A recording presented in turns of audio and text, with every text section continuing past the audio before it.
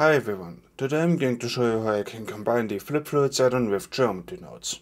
The add-on will be on sale from August 3rd at 12am Central Time till August 8th at 11.59pm Central Time. You can get the add-on through the link in the description, so let's get started. You're going to need Blender 3.4 Alpha for this to work because of Geometry Nodes.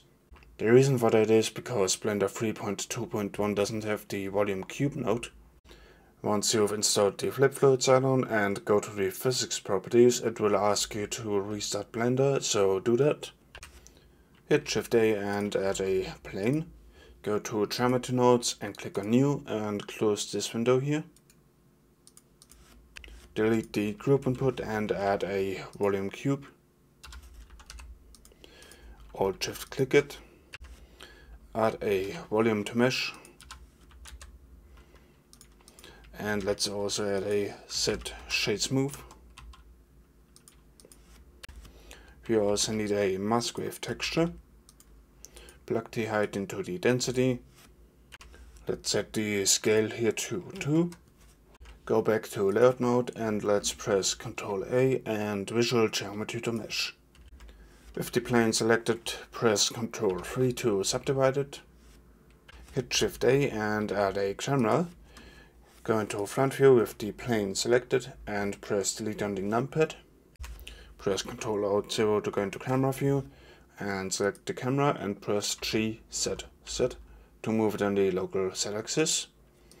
Let's position it somewhere around here. I renamed the plane to obstacle now go to the physics properties and click on flip fluid and select obstacle. Now let's hit shift A and add a cube. I'm going to call it domain. Again go to flip fluids and now set it to domain. Now it's warning us that we haven't saved yet, so let's do that real quick. Now let's go into wireframe view and scale down the domain like this.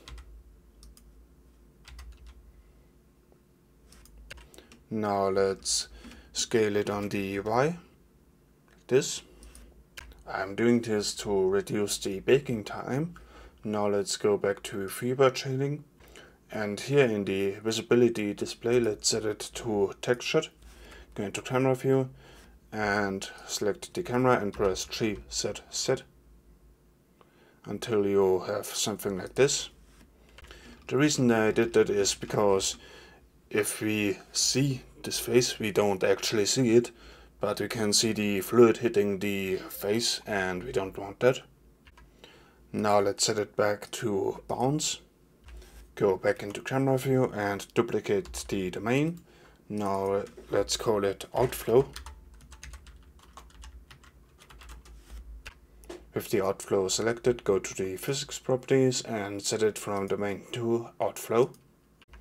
Go back to wireframe view and move it down.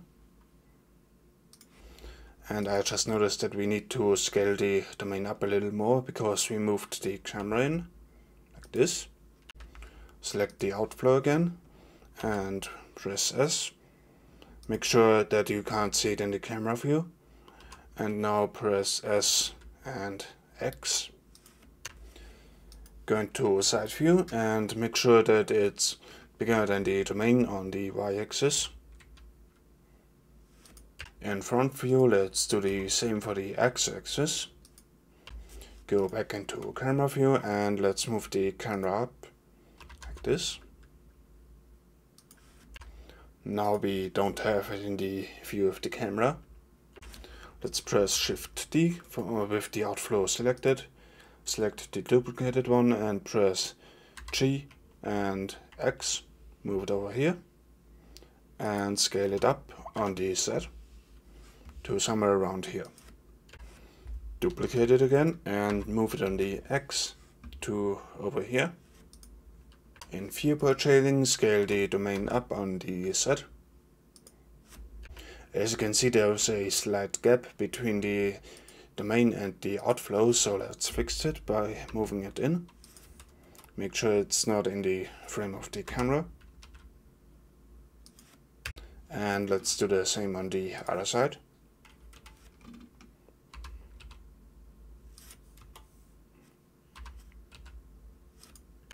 Select the domain and here type in bounds. Enable display bounds. As you can see on this side, the bounds and the outflow are not overlapping, so let's fix that. Now go back into camera view and let's move the camera to the side. Now let's see if it works like this. I just realized that it doesn't really matter how much the outflow overlaps with the bounds because we won't see the outflows in the camera view anyway because of the geometry. Let's save again. With the domain selected in front view, let's hit Shift S and cursor to selected and add an icosphere. Set the subdivisions to 3 and scale it down somewhere around here and move it up. Let's go to the physics properties, flip fluid and select inflow. I'm going to move it over here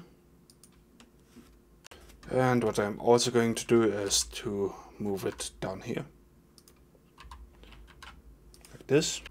With the domain selected, let's set the resolution to 195. Here type in whitewater and select enable whitewater simulation. Now let's save again and click on bake. The cool thing about the flip fluid add-on is that you can view the simulation while it is baking, so now if we go back to frame 1 we can already see what it, what it has baked. We can also already create the shaders for example, just don't change anything about the geometry of the obstacle for example, because the flip fluids add-on will not take the changes into consideration while baking. It will only do that when you repeat the baking process. So let's go into rendered view. As always I'm using this HDRI here. You can find the link to that in the description. Select the domain and go to the physics properties. I'm going to go to frame 19. With the fluid selected, go to the physics properties and now we have a few preset materials here. You can of course create your own material, but I'm going to use this ocean volumetric now select the domain again and go to the whitewater display settings and set the particle scale from 0.008 to 0.0012. I'm doing this because I think the default scale is too big.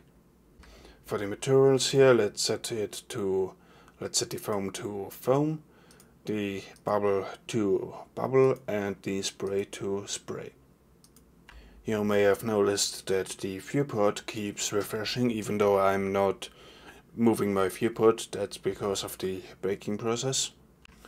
I will save again and go to shading. Let's select the obstacle and go into camera view. Get a new material.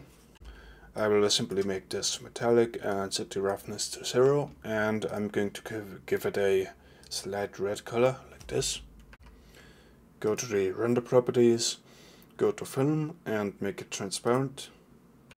Back in viewport shading, let's add an empty plane axis and let's move it over here by pressing G Shift Z and I'm going to position it somewhere around here. Go up here and enable depth of field Select the camera and go to the object data properties and enable depth of field. Select the empty and set it to 1.5 for example. I think that's too strong. So I'm going to set it to somewhere around 2.6 for example. Set the blades to 16.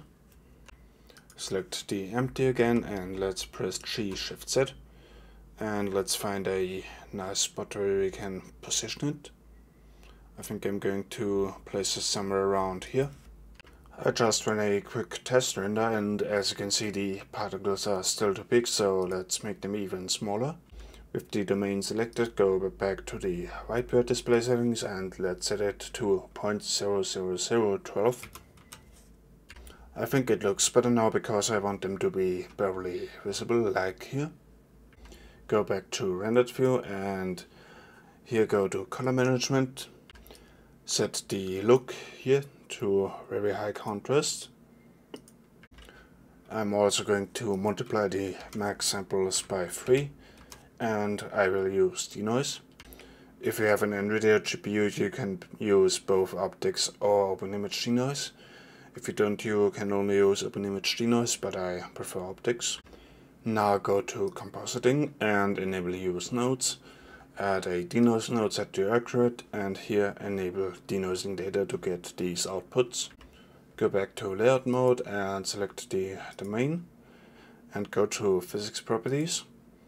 With the flip fluids add-on you also have the option to render the animation even though it's not done baking yet, but I don't recommend you do it because it tends to crash Blender. There is this stable rendering option, but turning it on usually won't help. I mean this one. I'm also going to add a point light. Let's set the radius to somewhere around here and move it up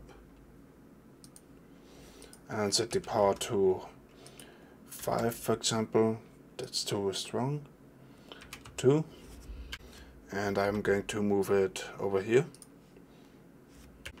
we can also already set up the output properties so I'm going to leave it at full HD and the frames at 24 FPS I will create a new output folder here so I called it rendered images.